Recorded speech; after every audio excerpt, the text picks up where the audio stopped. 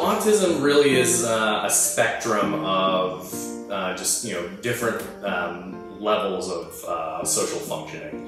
Um, depending on uh, if you look at it through the DSM versus the ICD, uh, the DSM kind of has this one umbrella term of just autism diagnosis, whereas the ICD has things like um, you know, pervasive uh, developmental disorder, atypical autism, all the way up to Asperger's, which you have your range of um, your uh, very low functioning, nonverbal, um, intellectually delayed kids uh, with you know the social impairment, all the way up to your higher functioning kids with Asperger's who may just you know kind of be um, a little socially awkward or maybe they can't really handle social situations quite as well as other kids. Um, but they have you know normal IQs. They uh, do well in school academically and things like that. So um, the thought behind it is that uh, during uh, the brain development in the utero, there are a lot of neural connections that are being made, and there are just certain genes in kids with autism in which you know these connections are either not um, not formed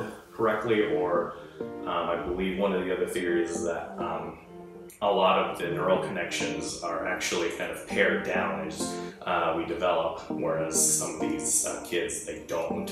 So they have all these extra neural connections that um, kind of you know, make, make, make them the way make them the way they are. In the uh, lower functioning uh, kids with autism, uh, they may have developmental delays. So some of them are um, unable to speak, communicate or they can't verbally communicate, so they can still point, they can do sign language.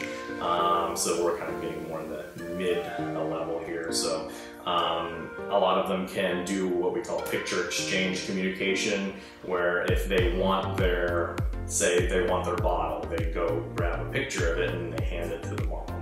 Um, and that's their way of communicating. Um, whereas you have your uh, higher functioning uh, kids um, who, as I mentioned, you know, do well in school academically. You know, you wouldn't even think that they had any sort of um, developmental issues, but maybe they're just kind of bad at maintaining eye contact, or you know, they just don't play very well with other kids, or they don't pick up on the emotion uh, quite as well. Uh, they don't ever seem like they're uh, having any sort of emotion. Sometimes they're just very kind of flat affected.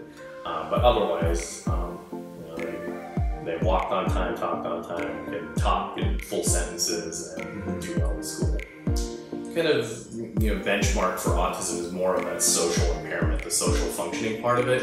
Um, so that includes, you know, just not being able to, you know, fit well with other kids, and not being able to emote as, you know, how we would be able to or pick up emotions. Some of them have a lot of uh, repetitive behaviors of rocking back and forth, the fixating on like the wheels on the toy, or not being able to um, pretend play. So that being said, there are certain um, things uh, or certain other um, syndromes that can be associated with autism that does include uh, developmental delays, things like uh, Fragile X syndrome, I believe, um, Smith-Lemli-Opitz syndrome, and a bunch of other things, CHARGE, um, you know, look all these things up to. Those can be associated with uh, developmental delays and uh, maybe even some degree of intellectual uh, disability or um, delay, okay. Uh, but not necessarily, um, you know, all kids with autism have developmental just, you know, we have to kind of watch out for those comorbidities that can be associated